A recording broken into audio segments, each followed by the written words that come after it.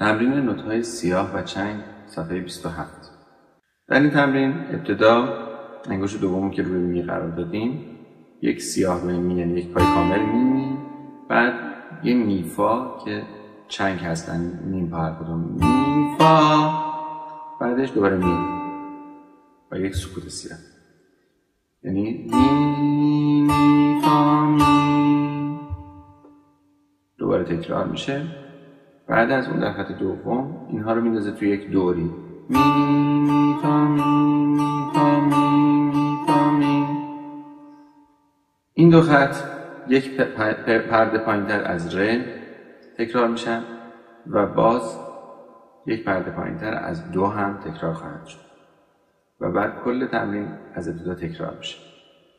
ما وقتی این علامت تکرار رو در انتها می‌بینیم چون قبل از اون در طول تمرین تکراری باز نشده بود باید برگردیم از ابتدا بزنیم. اما اگر وسط قطع تکراری باز شده بود برمیگردیم به اونجا و بعد داخل این مجموعه تکرار رو تکرار می‌کنیم.